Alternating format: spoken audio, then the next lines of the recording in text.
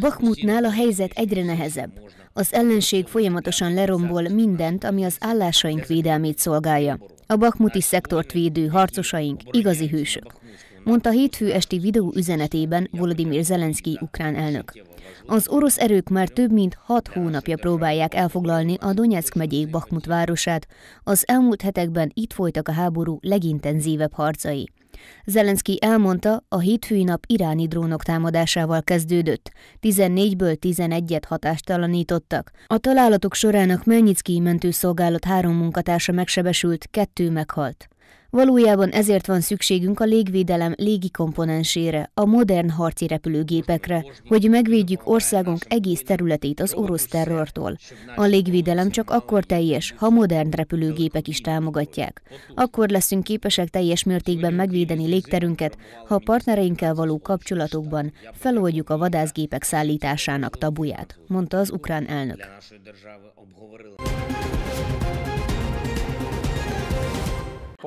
Kirilo Budanov tábornok a Védelmi Minisztérium hírszerzési főosztályának vezetője az Amerika Hangja Rádiónak adott interjújában arra a kérdésre válaszolva, hogy a háború következő három hónapja döntő lesz-e, elmondta, meglehetősen mozgalmas lesz. Nagyon aktív, ami meghatározza az események további menetét. Ezek aktív harcok, ha erre gondol. Aktív harcok lesznek, erőfeszítések az ő oldalukról és a mi oldalunkról. A fő katonai hírszerző szerint nem csak Donetsk és Lugansk megyékről van szó, hanem minden irányról. Abszolút mindenhol ez lesz, hangsúlyozta Kirillo Budanov. Továbbá megjegyezte, hogy nem hisz az Oroszországgal kötendő hosszú távú instabil fegyverszünetben. Először is Ukrajna nem fog beleegyezni az ilyen feltételekbe, ez az első ok, amiért ez irreális. Másodszor pedig, hogy egyszerűen nem fog megtörténni. Oroszország pedig nem áll készen a hosszú távú háborúra. Ezt most úgy mondom, mint a katonai hírszerzés vezetője, mutatott rá. Oroszország minden lehetséges módon megmutatja, hogy készen áll egy évtizedes háborúra, valójában azonban erőforrásai meglehetősen korlátozottak, mint időben, mint mennyiségben, és ezt nagyon jól tudja, mondta Kirilo Budanov.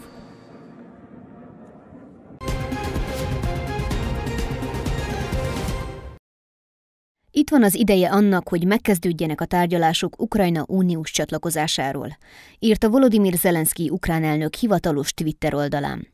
Ukrajna mindig is Európa volt és mindig is Európa lesz. Ezt már garantáltuk. Egy évvel ezelőtt a háború ötödik napján Ukrajna kérte a felvételét az Európai Unióba, és biztosította a tagjelölti státuszát. Idén itt az ideje, hogy döntést hozzanak a tagsági tárgyalások megkezdéséről. Fogalmazott az ukrán elnök a Twitteren közzétett bejegyzésében, továbbá hozzátette, hogy Ukrajna olyan egységessé tette az uniót, mint még soha. Szavai szerint Ukrajna az, amely megvédi az európai értékeket a jövő nemzedékei számára, együtt a küzdelemben, együtt a győzelemben. Az éljen sokáig Európa, éljen a szabadság felszólításokkal zárta sorait.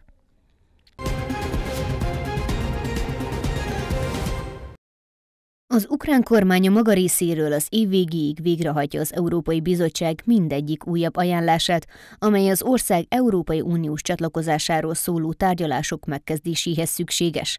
Jelentette ki Olha Stefanisina, Ukrajna európai és euróatlanti integrációjáért felelős miniszterelnök helyettese, a Kati Marininek adott interjújában számolt be az Ukrinform. Jelenleg hét szükséges lépést tettünk meg a korrupció elleni küzdelemben, jogállamiságban, tömegtájékoztatásban, valamint minden szvírában, ami az emberi és szabadságjogokkal kapcsolatos. Most az Európai Bizottság értékelésére és további ajánlásaira várunk. Tavasszal lesz egy előzetes jelentésünk a bizottságnak. Ennek alapján az év végéig minden tőlünk telhetőt meg kell tenni, mondta. Elmondása szerint az ukrán fél abban reménykedik, hogy ez megteremtheti a szükséges politikai lendületet az ország uniós csatlakozásáról szóló tárgyalások megkezdéséhez. Az amerikai Egyesült Államok beleegyezett abba, hogy 2023. szeptemberéig több mint 10 milliárd dollárt utal Ukrajnának a költségvetési hiány fedezésére. Nyilatkozta a sajtónak Denis Mihál ukrán miniszterelnök a Janet jelen amerikai pénzügyminiszterrel közösen tartott sajtótájékoztatóján. Idén Ukrajna költségvetésének hiánya körülbelül 38 milliárd dollár. Az USA vállalta a felelősséget, hogy szeptemberig több mint 10 milliárd dollárt utal Ukrajnának a deficit fedezésére, mondta Mihál.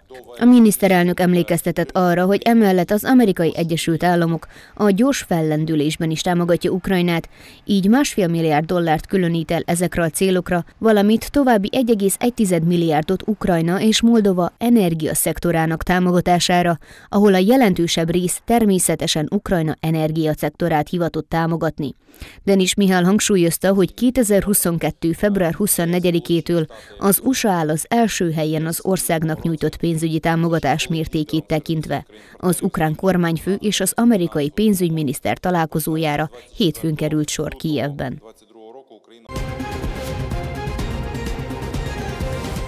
Vitali Klicskó Twitter oldalán osztott meg egy videót, ahol az látható, amint a kievi polgármester kipróbálja a Németországból érkezett tankok egyikét. Kategóriáján belül világklasszisnak tartják a leopárdokat. Több mint egy tucat ország rendszeresítette. A Leopard 2 ténylegesen úgy tervezték, hogy minden területen felvegye a versenyt az orosz TIG-90-essel, amely komoly szerepet játszik az orosz invázióban. Ugyanakkor a leopárdokat is kipróbálták már harci körülmények között, és nagyon jól teljesítettek Afganisztánban és Szíriában is.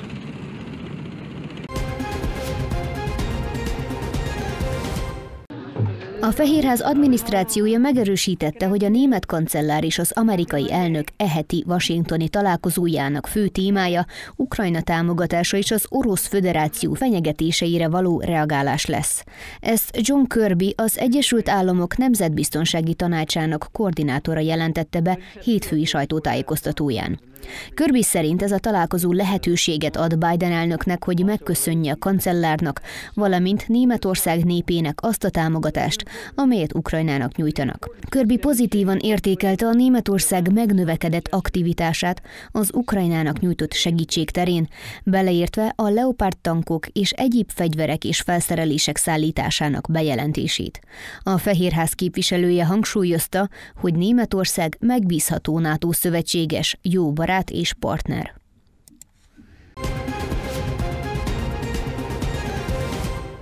Ben Hodges, az Egyesült Államok Európai Hadseregének volt parancsnoka egy általa közzétett Twitter bejegyzésben térképen mutatta be, hogy milyen nagy jelentőséggel bírnak a nagy hatótávolságú rakéták a Krimfélsziget felszabadításában. A katonai szakértő szerint a nagyhatótávolságú precíziós csapások tarthatatlanná tehetik a krímet az orosz erők számára. A Fekete-tengeri flotta és az orosz légierő elleni napi rendszerességű precíziós csapások előkészítik a harcteret a szárazföldi hadjáratra. Állítása szerint a krím szkeptikusok feltételezik, hogy ehhez egy költséges, nagyszabású szárazföldi támadásra van szükség, de a lényeg az, hogy a krím tarthatatlanná váljon Oroszország számára. Ehhez a különleges erők is hozzá fognak járulni. Zárta sorait a katonai szakértő.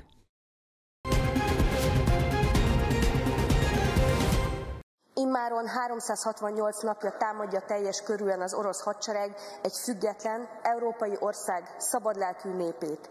Földdel tesz egyenlővé ukrán városokat. Február 27-én a Magyar Országgyűlés tavaszi ülésszakának első rendes ülésén a napi rendelőti felszólalás jogával élt Grexa Liliana, ukrán nemzetiségi szószóló.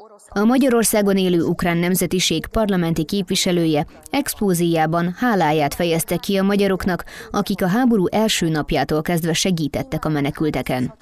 Napi rendelőti felszólással éltem, annak érdekében, hogy megemlékezzek a megtörhetetlenség 368, illetve a segítségnyújtás és befogadás 368 napjáról is, hiszen azt nem szabad elfelejteni, hogy szinte az első naptól kezdve a demokratikus nemzetközi közösség, és így Magyarország is, Magyarország, magyar nép egy emberként mozdult meg, hogy segítsen a bajba jutott ukránokon. Én folyamatosan tapasztalom különben a beszédeim előtt, de azt gondolom, hogy most itt az egyéves évforduló kapcsán ez most különös figyelmet kapott, ez a napi rendelőtti felszólalás, és ráadásul ugye pont a miniszterelnök előtt kaptam lehetőséget felszólalni, amikor tényleg már mindenki bent volt, és hát én éreztem a feszült figyelmet, illetve a támogatást is a magyar kormány megteremtette a jogszabályi feltételeit annak, hogy az ukrán... A nemzetiségi szószóló felszólalásában köszönetet mondott a magyar kormánynak, hogy lehetőséget biztosított az ukrán nemzetiségi önkormányzat számára egy kiegészítő iskola létrehozására. Egy nagyon fontos dolog történt a Magyarországi Ukrán Nemzetiség életében, hiszen a magyar kormány megteremtette a jogszabályi feltételeit annak, hogy évközben is el tudja indítani az Ukrán Országos Nemzetiségi Önkormányzat az első saját fenntartású nemzetiségi kiegészítő nyelvoktató iskolát.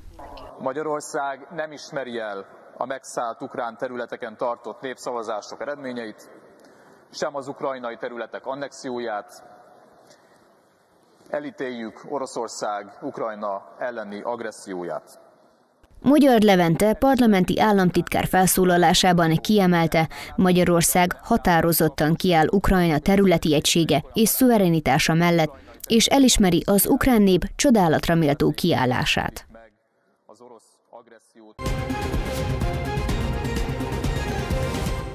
Egy éve annak, hogy az első nagyobb belső ukrajnai menekült hullám elérte Kárpátalját.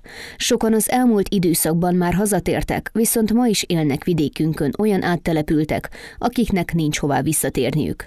A kárpátaljai Szent Márton Caritas ezen személyek támogatására kezdte el új programját, amelyel segíteni szeretnék a belföldi menekültek beilleszkedését, illetve segítséget nyújtani számukra, hogy feldolgozzák azokat a megpróbáltatásokat, amelyekkel szembe kellett nézni segíteniük. Beregszászon a Szent Anna Karitásnál ezen a héten kezdődtek el az első foglalkozások, amelyet egy felmérés előzött meg. Ez megyeszerte mindenhol zajlik most, csak szerintem minden járásban másmilyen formában, ezért végeztünk saját felmérést, és ezért kérdeztük meg az itteni emberkéket, hogy ők mit szeretnének inkább elsősorban. A Szent Anna Caritas a háború kezdete óta támogatja a menekülteket. A gyermekes családok számára külön Facebook csoportot hoztak létre, felmérést végeztek, és az ő kérésükre szerveztek magyar nyelvtanfolyamot. Ezt a csoportot, amit alapítottunk, ez édesanyák és gyermekek mentális és lelki egészsége, az áttelepültekről van most szó,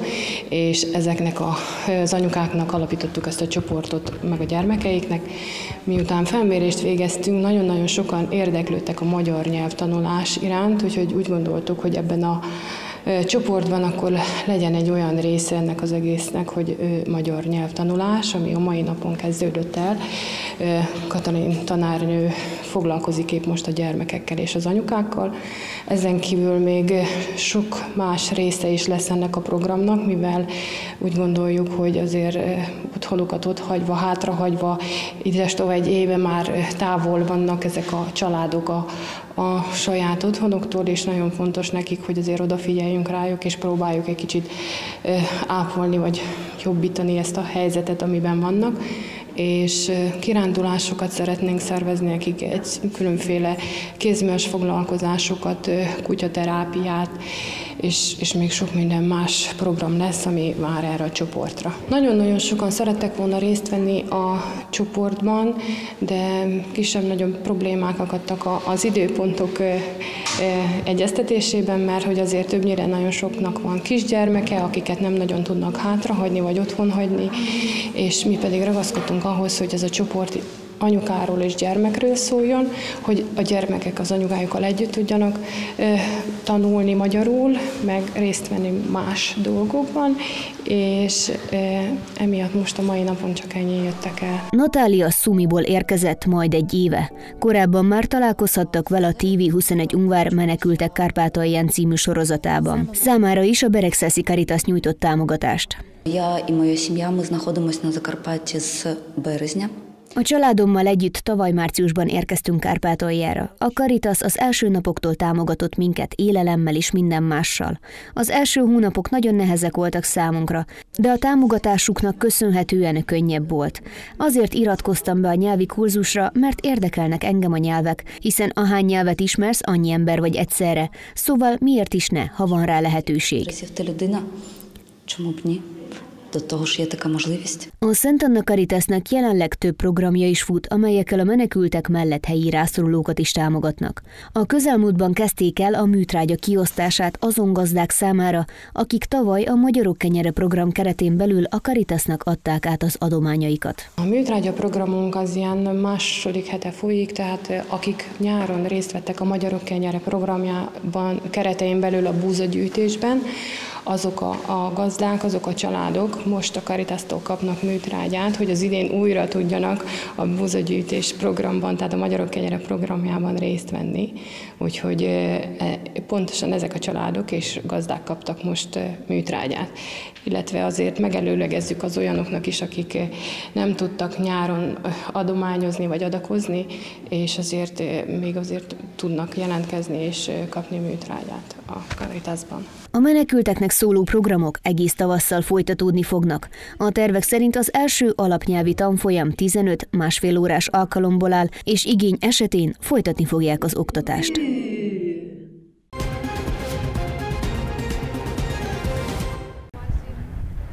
A múlt héten Kárpátalján fél ezer embernél diagnosztizálták a Covid vírust, míg az azt megelőző héten ez a szám háromszor alacsonyabb volt. Az orvosok összesen több mint 4000 gyors és PCR-tesztet végeztek el. A vírus az Ungvári járásban, különösen a megyeszékhelyen, valamint az egykori Perecsenyi és Nagybereznai járásban terjed. Őket az Ilosvai, a Huszti és a Beregszászi járás követi a listán. Jelenleg 37 gyerek található a betegek között. Ez a szünidő végével és a gyerekek közösségbe való visszatérésével magyarázható. Többnyire az idősebbek kerülnek kórházba, főleg azok, akik nincsenek beoltva. Вперше за довгий період часу на минулому тижні ми досягли завантаженості 21%. Hosszú idő óta először a múlt héten értük el a 21%-os ágyterhelést. Ez közel 160 beteg ágyat jelent, és az előfordulás alapvetően a leterheltségben tükröződik, hiszen a megyei klinikai fertőző kórház, amely az ungvári járás betegeit fogadja, a leginkább leterhelt 70%-kal. Emellett a Huszti és az Ilosvai kórházak is körülbelül 30%-os telítettségűek. Az ottani betegek betegek pedig többnyire idős, társbetegségekkel küzdő emberek, ezért ők a COVID-19 súlyos lefolyású kockázatának vannak kitéve. В них є ризики важкого перебігу COVID-19. Ezen kívül a múlt héten három halálesetet jegyeztek fel a koronavírus okozta szövődmények következtében. Viktória Timcsik hangsúlyozta, hogy a jelenleg terjedő törzs erősen fertőző, és nem mindenkinek enyhe lefolyású a betegsége. Ezért a legjobb megoldás a védőoltás beadatása. Ugyanakkor az oltási arány az elmúlt évben jelentősen csökkent. Azonban az egészségügyi intézmények elegendő, különböző gyártóktól származó oltóanyaggal rendelkeznek. За січень і в лютому ми зробили десь за місяць трохи більше ніж 2000 щеплень. Це Januárban és februárban alig több mint 2000 oltást végeztünk, ami nagyon kevés. Az emberek többsége most kapja meg a harmadik emlékeztető dózist. Nagyon kevés első oltásunk van.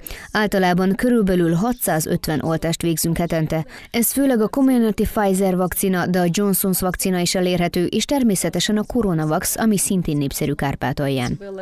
Ну і звичайно, коронавак його також полюбляють пацієнти закарпатці. A jelenlegi előfordulási arány jellemző az évszakra, ugyanakkor a járványügyi szakemberek az esetek számának növekedését a karantén intézkedések hiányának is tulajdonítják. Már szinte senki sem visel maszkot, a távolságot nem tartják be, és a kezeket csak alkalmanként fertőtlenítik. A koronavírus jelenléte miatt azonban a lakosságnak meg kell tanulnia együtt élni az állandó korlátozó intézkedésekkel, és nem szabad megfeledkeznie a védőoltások periódikus felvételéről sem. A Kárpátai Sebészek Szövetsége a megyeszékhelyen tartott találkozóján összegezte a 2022-es évi munkájának eredményeit. A szervezet több mint 150 orvost egyesít fiatalokat és több évtizedes tapasztalattal rendelkező orvosokat egyaránt.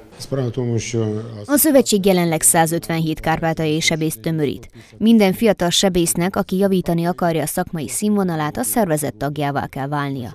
Ez olyan kollektív testület, amely nem csak ellenőrzi a szakemberek képzését, hanem irányítja, tanítja őket, és megpróbálja javítani a munkájuk során esetlegesen előforduló hibákat.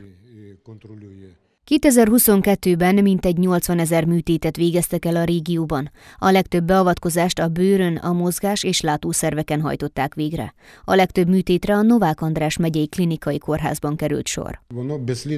Az életben semmi sem múlik el nyomtalanul. Mind a hadi állapot, mind pedig a COVID-fertőzéssel kapcsolatos korlátozások a műtétek számának csökkenéséhez vezettek, de az elmúlt évben 11 ezerrel nőtt a műtétek száma. Ez annak tudható be, hogy a legtöbb beteg a keleti országrészből menekültként érkezett hozzánk. Esetükben gyakoriak a komplikációk és az elhanyagolt folyamatok. Talán ez magyarázza a nagyobb sebészeti beavatkozások százalékos arányának és a sürgősségi ellátást követő sebészeti veszteségek számának enyhe növekedését. Привели з собою і. Költözés előtt állnak a Kárpátaljai Néprajzi és Népi Építészeti Múzeum hímzett ingei és textiltermékei, ugyanis az elmúlt több mint 50 év során, azaz az intézmény megalapítása óta nem történt hasonló. Korábban, mint ahogyan a képzőművészeti alkotások is egyszerű, többnyire fából készült szekrényekben és polcokban kaptak helyet. A teljes felújítás a kulturális kapcsolatok, kulturális mobilitás a határmenti régióban című projekt keretében valósulhatott meg. A tárházban kiállított tárgyak tárolása a komplexitás elve alapján működik, magyarázza Mariana Mechela, igazgató helyettes. A tárházunk átrendezése után a tárgyakat a topográfiai őrzés elve szerint külön szekrényekben tároljuk majd. Női, férfi, gyerekruhákról, újas és újatlan felső válfedőkről, övekről, kendő alakú dekoratív szövetekről, terítőkről, gyapjúágynemükről van szó. Ezen kívül ebben a helyiségben őrizték intézményünk festménygyűjteményét és ikonográfiai emléktárgyait is. Amint egy 200 kiállított példány között, melyek átköltöznek a felújított tárházba, megtalálható a húsztijárási Szeklence faluból származó női ink autentikus példánya. A hímzett ruhadarabok közt a dovhányának nevezett hosszított inga legnagyobb kincsünk. Az ujján, a manzsettáján és a nyakán láthatunk hímzést. Mintái többnyire geometrikus alakzatokból és növénymotívumokból állnak, melyek pont erre a régióra jellemzők. Ez eléggé nagyméretű hímzés, mely nem sok járásban lelhető fel. A huszti ingekre jellemző ez, és a dekorativitás. A másik részlegben kihúzható kazettákkal ellátott bútorokat lehet megtekinteni. Fémdrótból készül, lehetőséget ad a festmények elhelyezésére oly módon, hogy ne érjenek egymáshoz, ezért nem sérülnek. Helytakarékos megoldás és az őrzés módja is civilizáltabb. A szilvaiak textilgyűjteményét is a felújított kihúzható kazettákon őrzik ezentúl. A gyűjteményt a 80-as évek elején adták át. Ezek a papok, apja és fia nem csak gyűjtők, hanem fafaragók is voltak. Például ezeknek a festményeknek nem szokványos a kerete. Mind geometrikus, mind növénymotívumú mintát is láthatunk rajta. Hasított, áttört. A kiállított tárgyakból sok van, ezért akad még teendő. A múzeum munkatársai nem egyszerűen átrakodják a példányokat egyik helyiségből a másikba, hanem az adatokat egy elektronikus adatbázisba rögzítik, melyek szintén a kulturális kapcsolatok kulturális mobilitása határmenti régióban című projekt révén hoztak létre. Közel 7000 textilmintánk van. Az elmúlt héten közel másfél ezer darabot vittünk át, főleg felső válfedőket és alsó ruházatot, férfi és női inget. Elkezdtük a fotózást és azok adatbázisba történő bevitelét, majd áthozzuk a héségbe és a szekrényekbe tesszük. A berendezésnek köszönhetően javulnak a tárgyak őrzésének körülményei, mondja Vasil Kocán, múzeumigazgató. Először is a fémszekrények tűzállóak. A faberendezés, a faszekrények nem csak a mi múzeumunknak, hanem Ukrajna számos múzeumának jelentenek gondot, hiszen gyúlékonyak. Hála Istennek az utóbbi években számos múzeumban, így nálunk is ez a probléma a pályázatok segítségével megoldani látszódik. Mi már néhány éve egy nemzetközi projektet valósítunk meg a Szatmár-Németi megyei múzeummal és a Felsővízközi Városi Ukrán Kulturális Múzeummal közösen. Az új berendezés a hely kihasználása szempontjából is segítséget jelent. A régi szekrények kisebbek voltak és nem fértek el benne a tárgyak, mondja az igazgató. A felújítás a kutatók munkáját is segíti. Ha kutatók jönnek, akkor a tárolószekrényből könnyű kihúzni a szükséges kazettát és kivenni a keresett tárgyat, fotózni azt és tanulmányozni a leltári leírást. Ez nagy mértékben megkönnyíti a munkát. A projekt keretében egy elektronikai adatbázis is készült. A projektnek ez a két része kiegészíti egymást. Megkönnyítik a továbbiakban a tárgy megkeresését múzeumunk tárházában. A múzeumban a helységek mikroklímájának szabályozását segítő eszközök elhelyezését is tervezik, valamint továbbra is azon dolgoznak, hogy a múzeum gyűjteményeit egyre jobb feltételek mellett őrizhessék.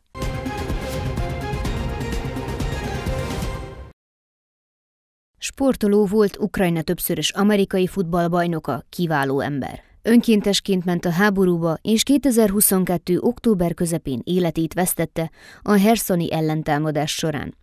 Sebesült bajtársát mentette a csatatéren. Danilo Bohuszlavskit nem felejtették el, és szülőhelyén Ungváron rendezték meg az első összukrajnai flag football tornát, az amerikai foci non-kontakt változatát. Tisztelegni akartunk kollégánk, harctársunk, barátunk Danilo emléke előtt. Ő volt a csapat lelke. Kiváló ember, aki nem tudott nemet mondani, aki mindent megszervezett a csapatban. A tornára Kijevből, Dnipróból, Zsitomírból, Vinnyicából, Rivnéből, Lembergből érkeztek csapatok. Összesen nyolc férfi és két női csapat mért össze erejét, két egyenként öt csapatos csoportban. A legjobbak jutottak az elődöntőbe és a döntőbe. A szabályok alapján egy mérkőzés két, egyenként 20 perces félidőből áll. A lényeg ugyanaz, mint az amerikai futballban. A labdát passzolással, futással kell eljuttatni a pálya végére, a pálya másik oldalára. Ezek az akciók érnek pontot. A flag football nem egyszerű játék, gyors döntéseket igényel. Rögtön a megalakulása után csatlakoztam a csapathoz. Ez 2019-ben volt. Ez olyan sport, ami nem csak a testnek szól, amikor futsz és elkapod a labdát. Ez az elme játéka is, mert folyamatosan ki kell találni néhány új kombinációt, ki kell találni, hogyan lehet túljárni az ellenféleszén. Tehát ez úgymond az elme és a sport kombinációja. A flagfootballban a kemény kontakt a tackle helyett elég az övre erősített két zászló közül az egyiket lerántani az ellenfélről. A sportág non-kontakt stílusa lehetővé teszi, hogy különböző nemű sportolók hasonló eséllyel küzdjenek. Ez olyan sport, amelyben mindenki megtalálhatja önmagát, mert nincsenek kor, magasság, súly vagy fizikai korlátok. Ebben a sportágban folyamatosan fejlődhetsz és jobbá válhatsz. A női flatfootball erejéről az ungvári Liszorub is meggyőződhetett. A nyitó mérkőzésen nem minden nehézség nélkül 16-13-ra győzték le a lembergi hölgyeket. Később sikerült bejutniuk az elődöntőbe, ahol a negyedik helyet szerezték meg. A harmadik helyen a Kievi Kapitál, a második helyen pedig a Vinyicai csapat végzett. A győztes pedig a lembergi oroszlánok lettek. A szervezők remélik, hogy a Danilo Bohuszlavszki torna hagyományá válik, hisznek a közösségi médiában közzétett utolsó bejegyzésében is. Velünk van a fény.